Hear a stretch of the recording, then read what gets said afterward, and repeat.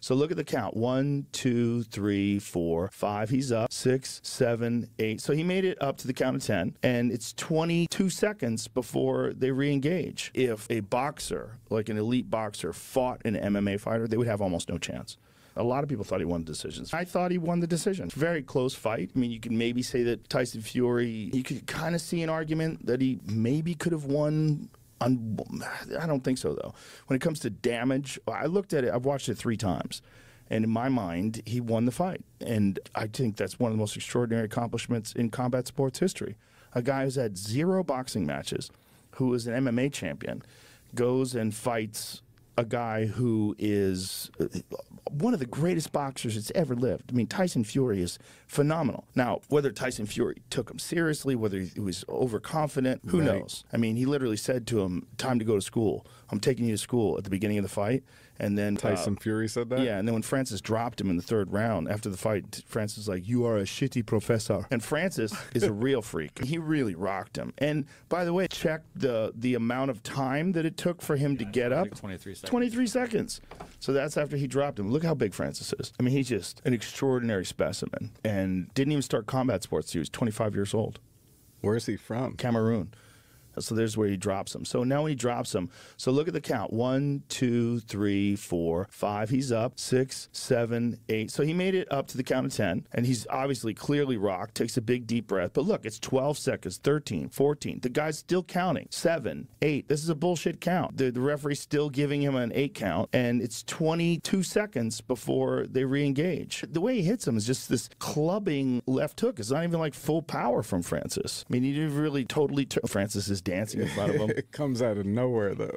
Yeah, and then battered him again in the eighth round, and somehow or another they gave Tyson Fury the eighth round on at least one judge's scorecard, which is fucking insane. It might have been two judges. But boxing is a dirty business. It's a dirty sport. There's always one judge that's in the bag. It seems. At the very least, if they're not absolutely paid off. At the very least, they're deeply indebted to the promoters, and there is some sort of an agenda to have this person who's either the most marketable or the one who the most is writing on. I don't think he's going to have a rematch. He didn't talk about a rematch. Didn't say he wanted a rematch, and Francis wants a rematch for sure. Francis thinks he won the fight. And there's it's interesting after the fight immediately afterwards most people were saying that francis won after watching it carefully, some people have said that there could be an argument that Tyson Fury may have outpointed him. In my mind, Francis landed by far the harder shots, by far did more damage. Even though there's this thing that happens when you see an underdog outperform the expectations, which certainly happened. I think he was a 14 to 1 underdog. By the end of the fight, the online betting odds had Francis favored to win, which is crazy. And many people, including myself, felt like he did enough to win the decision. I felt he won by at least one round. And Eddie Hearn, he gave Francis two rounds. He said Francis beat him by two rounds. It's just an extraordinary accomplishment. Even losing a majority decision to Tyson Fury is insane because the only time this has ever happened before where an MMA champion fought a boxer was when Conor McGregor fought Floyd Mayweather. But Conor McGregor fought Floyd Mayweather when Floyd Mayweather was at the tail end of his career. It was the last bout that Floyd had. And Floyd just kind of like wore him out, outboxed him, and stopped him in the fight. Whereas Francis fucking dropped him in the third round and battered him in the eighth round. And it was just an insane performance. L- literally like a legendary combat sports performance. It'll go down in history. When they talk about boxing, it's one of the greatest accomplishments ever. Boxing is an amazing skill. It's an amazing thing to learn. It's it's very helpful in terms of self defense. It's a it's an excellent. It's a must know. It's a, a thing that you must know if you want to compete in combat sports. You must know how to box. But a really comprehensive skill set that a, a true MMA champion will have is far better. You know what's even better, Joe? To stop paying for pay per views altogether.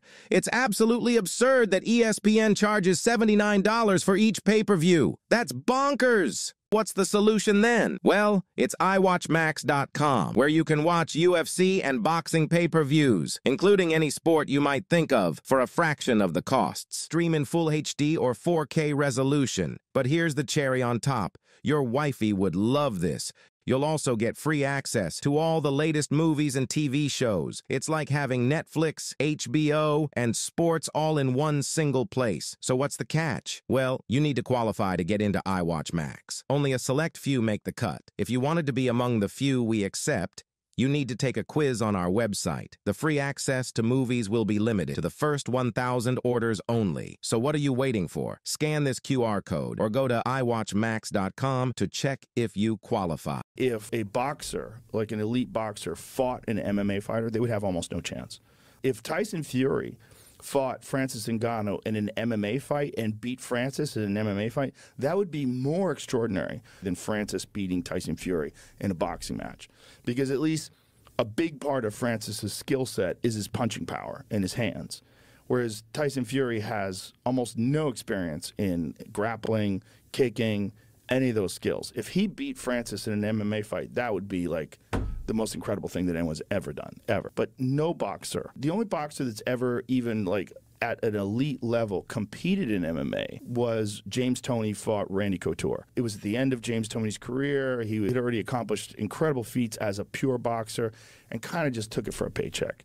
And he got taken down and just strangled pretty quickly. Randy Couture just ankle picked him, brought him to the ground, right. got on top of him, head and arm choked him, once he got to the ground, it was like a foregone conclusion. Randy was going to destroy him. No boxer has ever said in the middle of their like as if Manny Pacquiao in the middle of his prime said, "I am going to fight MMA." That would be insane, and you'd probably get his face kicked off.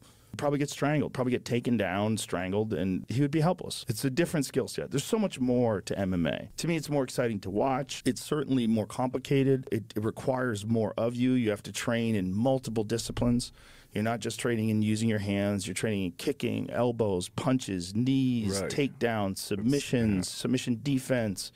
The, the rounds are longer. They're five minute rounds as opposed to three minute rounds. Five minutes is a long time. It's a long time. It's a long time. and in the old days, in the Pride day, in the old days of the UFC, there was no time limit. And then in the Pride days, which was uh, one of the glory years of MMA in Japan, they would have a 10 minute first round. That was very hard. Dan Henderson said that was what separated the men from the boys, that 10 minute round. Because minutes of yeah. straight fighting is crazy. Against a train killer. And they would do this at like the Saitama Super Arena, which is like 90,000 people, the Tokyo Dome, these enormous venues. Not that boxing is not insanely difficult on your endurance as well, especially at a very elite level. It's next to wrestling, which is probably one of the most difficult things it's about as hard a combat sport it exists, but MMA is the top. That's the top. The MMA champion is widely regarded by almost anyone who's an expert as being the baddest man on the planet. Whatever weight class it is, the MMA champion, for the most part, is going to dominate someone who is just a boxer. Right. For the most part. But you know, you've got some guys like Mike Tyson. If someone taught Mike Tyson kicking defense and how to take people down, good fucking luck. Good fucking luck when that guy's coming at you throwing punches.